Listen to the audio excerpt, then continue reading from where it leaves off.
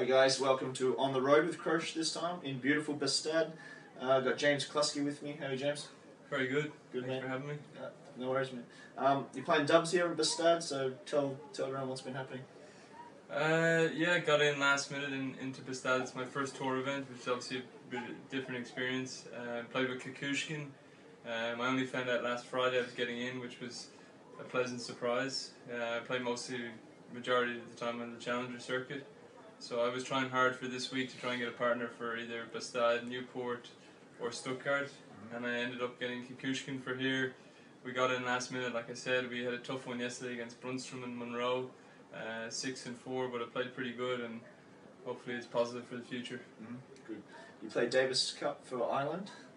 Yeah, uh, played Davis Cup since 2006, which is you know it's when I was nine, ten years old. It was one of my goals was to play Davis Cup for my country, and this year we we uh, we lost to Belarus. I played Mirnyi and Bury, um, had match point and lost in five sets, and uh, in Belarus, and then we beat Egypt at home in a relegation match. So we stayed in in Euro Africa Group Two. So hopefully next year now, you know our team we have a good team, and I think we could make a good promotion push. Nice. So who do you kick around with at these sort of tournaments? I've, I've seen you with a few players, so just Yeah, have, you, you have your lunches and your breakfasts with and your drinks.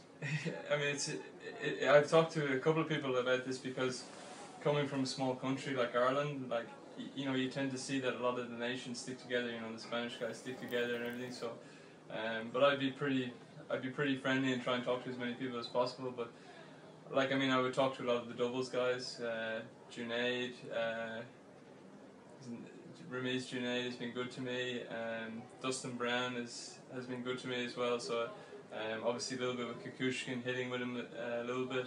Um, yeah, I mean I'm never alone anyway. There's a lot of doubles players. You Yeah, You're yeah. friends with. Um, what's happening in the next couple of weeks, tournament wise?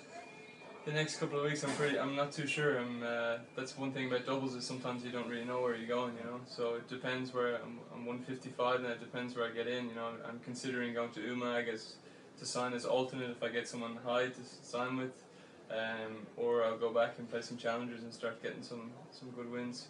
Nice. All right, I know you got to catch a flight, so you're leaving beautiful Bastad. Um, yeah, thanks beautiful for spending some time with me. Yeah, thanks a lot. No. See you guys.